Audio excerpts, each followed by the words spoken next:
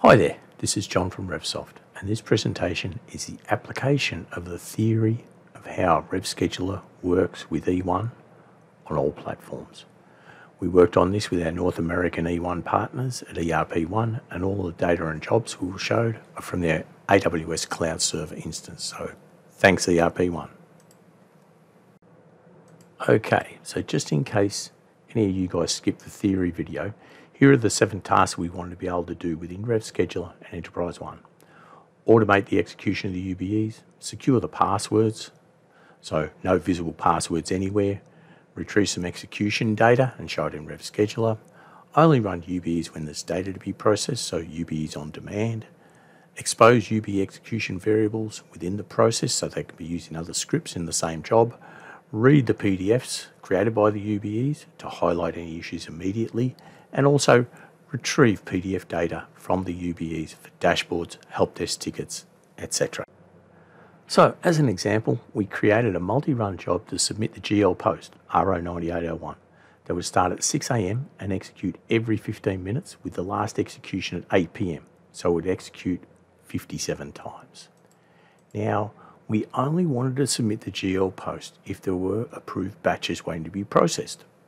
Now, this single task should cut down the number of GL post UBEs submitted. Then, when it did submit the GL post, we wanted to check the output and see if was one or more batches had errors in the PDF anywhere. And if there were errors, we wanted to be able to retrieve the batch number, update the dashboard, send out emails, etc. So this was a flow chart here. Basically check and see if there's any approved batches. No, go back and wait for the next process.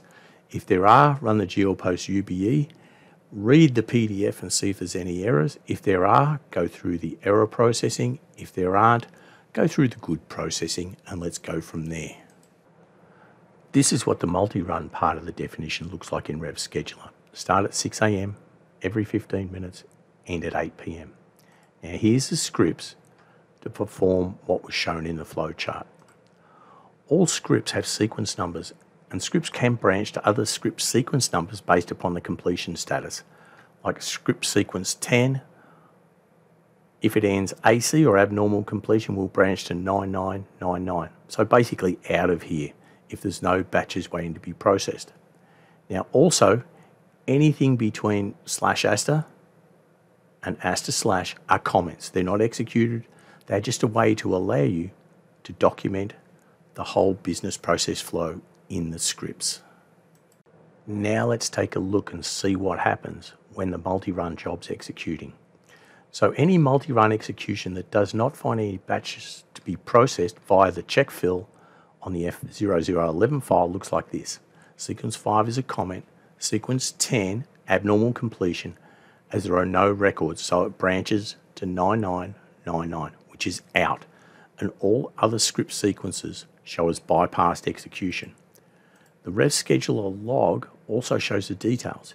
You can see the check PDF being executed and then the fail, zero records detected. Then as the script sequence has completed abnormally, it will branch in this case to 9999, which in this case is out. Okay, we've seen what happens if there's no batches to be processed. What happens? Well, this is a good batch. The RJ check fill has passed as there is one record in F0011. The UBE is then executed and the PDF is read, and the one or more batches had errors is not detected. So the RJ retrieve PDF then retrieves a batch number, in this case 13042, and updates a value in the user variable for the last good batch number. The processing here for the bad batch is bypassed to sequence 999 unconditionally after the execution of sequence 60.